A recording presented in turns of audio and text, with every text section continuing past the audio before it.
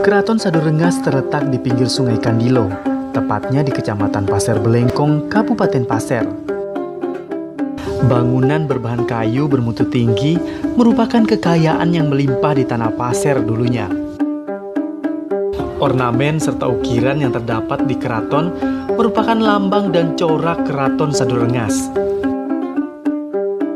Bangunan ini dulunya merupakan rumah dari salah satu Sultan Pasir, yaitu Aji Tenggara. Pada abad ke-19 menjadi istana Sultan Ibrahim Khaliluddin. Di dalam museum ini dapat kita lihat barang-barang peninggalan pada masa kejayaan Kerajaan Sadurengas bangunan berbentuk rumah panggung yang dalam bahasa Pasir disebut Kuta Imam Duyu Kinalinja yang berarti kediaman pemimpin yang bertingkat.